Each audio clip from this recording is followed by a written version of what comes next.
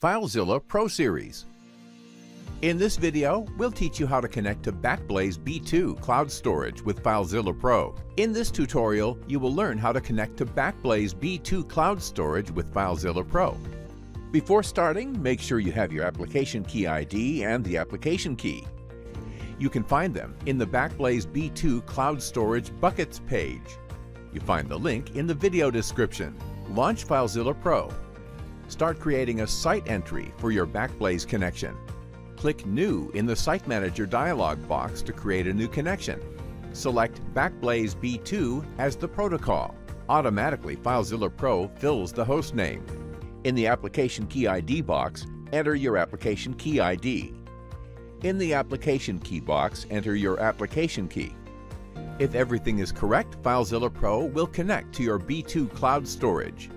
On the right side, you see your buckets and files. In this video, you learned how to connect to Backblaze B2 with FileZilla Pro. FileZilla Pro is fast and reliable. Plus, it supports a variety of other cloud protocols. Amazon S3, Microsoft Azure, Google Cloud Storage, Google Drive, Dropbox, Microsoft OneDrive, Amazon EC2, Backblaze B2, and WebDAV. Are your website files ready to go? Time to get your copy of FileZilla Pro. Go to FileZillaPro.com and buy it with confidence. See you at the next video of the FileZilla Pro series.